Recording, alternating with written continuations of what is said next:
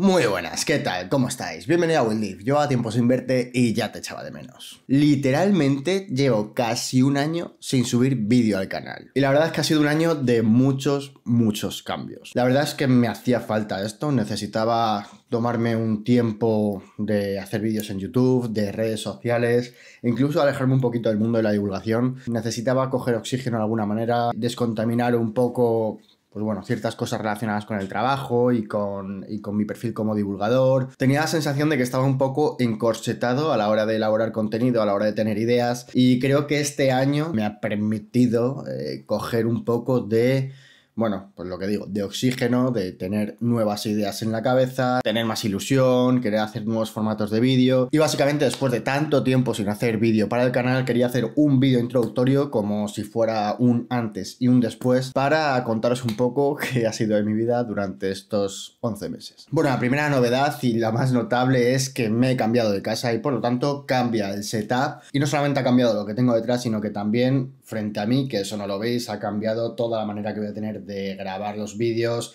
de editarlos, de tal manera que he establecido un sistema mucho más automatizado que me va a permitir, por una parte, ahorrar más tiempo para mi vida personal, que me viene también bien, y por otro lado, el hecho de haber establecido un sistema mucho más automatizado que como lo tenía antes para grabar, para editar, eh, probablemente me permita hacer más vídeos que los que hacía antes, lo cual creo que vais a agradecer porque eso es más contenido. Aparte de este cambio, que para mí es uno de los más relevantes a nivel visual en el canal, he hecho otras muchas cosas que me han enriquecido mucho y quiero compartir con vosotros alguna de ellas. En primer lugar, este año me he dedicado a aprender cosas sobre plantas y he desarrollado un cariño por la botánica y por el cuidado de las plantas que no tenía antes. Este cariño me lo ha, bueno, me lo ha metido mi chica, que es una apasionada de las plantas. De hecho, su frase es que nunca hay suficientes plantas, con lo que discrepo. Y bueno, también es verdad que a mi madre le encantaban las plantas, tenía muy buena mano con ella y me gusta que se me haya metido este gusanito porque además me va a permitir traer más contenido para el canal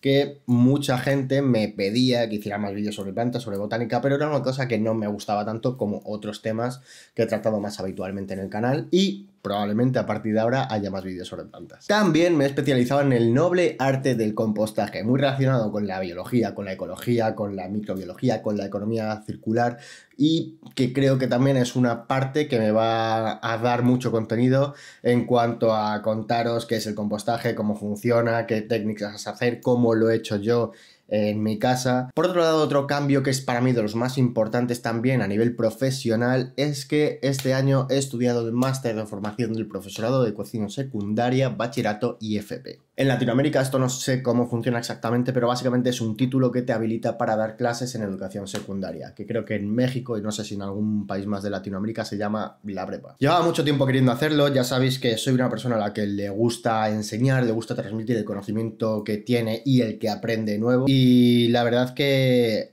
ha sido una oportunidad muy buena para complementar lo que ya conocía sobre divulgación científica y comunicación con ese aspecto pedagógico y didáctico que tiene este máster y creo que eso se va a reflejar también en la forma de hacer los vídeos en el canal y va a enriquecerlo. Sube, ven. Hola. Hola, Muy bien. Hola. ¿Cómo estás? ¿Mm? Aquí.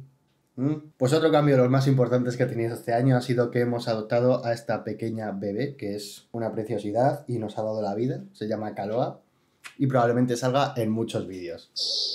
La verdad que la gatita esta nos ha dado la vida porque es súper cariñosa y además he trabajado con ella en su aprendizaje, lo cual creo que me va a permitir hacer vídeos sobre comportamiento animal que me gustaría compartir con vosotros porque es algo que nunca había hecho con un gato y la verdad es que es bastante chulo como aprende. En cuanto al canal, voy a seguir haciendo vídeos como los que hacía antes, algunos vídeos más largos, vídeos relacionados con biología y leyendas, pero aparte también quiero hacer una sección del canal dedicada a vídeos relacionados con la educación en el ámbito de las ciencias naturales, de la biología, básicamente relacionadas con el currículo educativo, lo cual haría que dejáramos a un lado la parte de la divulgación e hiciéramos unos vídeos un poco más curriculares, por así decirlo. Esto lo quiero hacer por un motivo muy claro y es que hay muchas personas de la comunidad que son profesores y profesoras y que me han escrito alguna vez diciendo que utilizaban mis vídeos para ponerlos en clase Y bueno, lo que quiero aportar es darles más material que puedan utilizar en clase. Además, para mí siempre ha sido un orgullo que haya profesores que utilicen los vídeos en sus clases, tanto en secundaria como en primaria, como en universidad, como en bachillerato, lo que sea. Pero sí que creo que hacer este tipo de vídeos educativos que podáis utilizar también en el aula, más enfocados al currículo, con los contenidos concretos que se dan, puede ayudaros bastante en vuestra labor como docentes y aportar contenido a los alumnos para que puedan eh, estudiar de una manera un poco más llevadera. Siempre he considerado que los canales de YouTube de divulgación científica son increíbles y son muy buenos complementos a la docencia, pero nunca pueden ser un sustituto y de hecho lo he defendido siempre a capa y espada y es más, está investigado. Rubén Lijo hizo un vídeo en su canal porque publicó un artículo científico donde corroboraba efectivamente esto que os estoy comentando, lo cual os voy a dejar en la descripción para que lo veáis seguido de este vídeo. Y bueno, básicamente empieza una etapa nueva, creo que os va a gustar bastante el nuevo toque que va a tener el canal, los nuevos tipos de vídeo que quiero traer, de hecho el primer vídeo se va a subir mañana y es un vídeo sobre la saga de The Witcher, del brujo, así que mañana os veo por el canal, espero que estéis bien, espero que no se os haya hecho muy largo, agradezco muchísimo el tiempo de espera y el ánimo que me habéis dado tanto por redes sociales como por YouTube. Y bueno, básicamente espero que os guste la nueva etapa, un saludito y a cuidarse.